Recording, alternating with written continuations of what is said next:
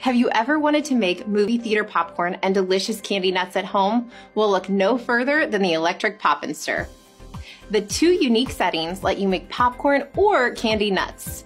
They make great snacks for school, family movie nights, and get togethers. Plus, you can make thoughtful homemade gifts for friends and family all year long. It takes less than 10 minutes for popcorn and less than 15 minutes for nuts.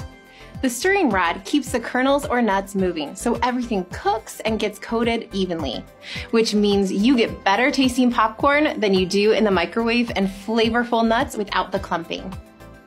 The cooking plate heats popcorn or nuts to the right temperatures so they don't burn, and it's removable so it's easy to clean.